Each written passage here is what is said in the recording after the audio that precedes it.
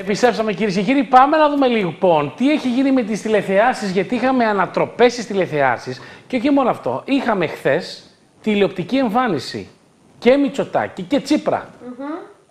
Είχαμε το Μητσοτάκη να βγαίνει στο δελτίο ειδήσεων Του Α.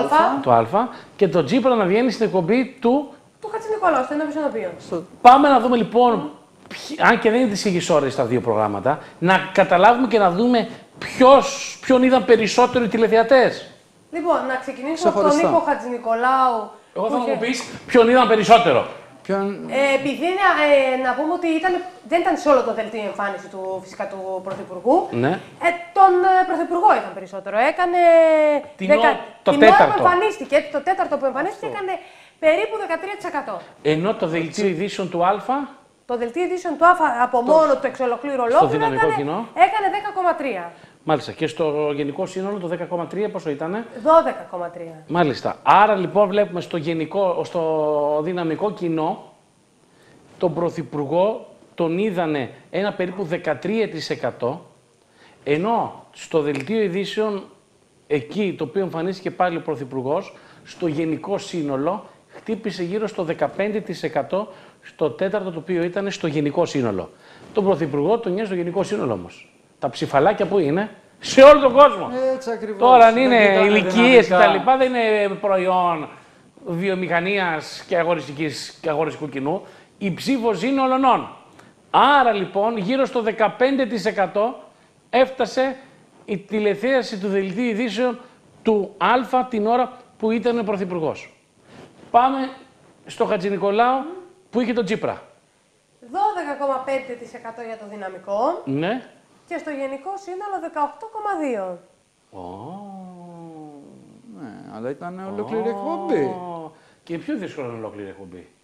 Είχαν περισσότερο χρόνο, λέω εγώ. Ναι, αλλά είναι πιο λογικό να δούνε περισσότερο τον Πρωθυπουργό. Περισσότερος κόσμος. Σωστό Γιατί και είναι ο αυτό. Πρωθυπουργός. Ναι, αλλά πού το ξέρανε, θα σου πει ο άλλος; Πού το ξέρανε, τον άλλο λέγανε ο Τσίπρας, ο Τσίπρας. Το διαφήμισαν. Το διαφήμισαν. Ναι, εκεί δεν υπήρξε. Α, Στεναχώρια δηλαδή στο Μέγαρα Μαξίμου θα έχουμε. Στεναχώρια του Κυριακού.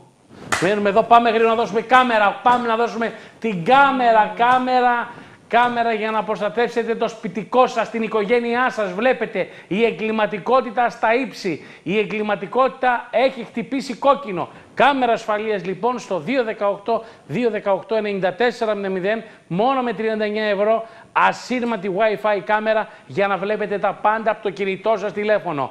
Ποιος μπαίνει, ποιος βγαίνει στο σπίτι σας, τι συμβαίνει στο σπίτι σας; Θα ξέρετε, θα ξέρετε για να προστατεύσετε εσάς και την οικογένειά σας. Μόνο με 39 ευρώ τώρα.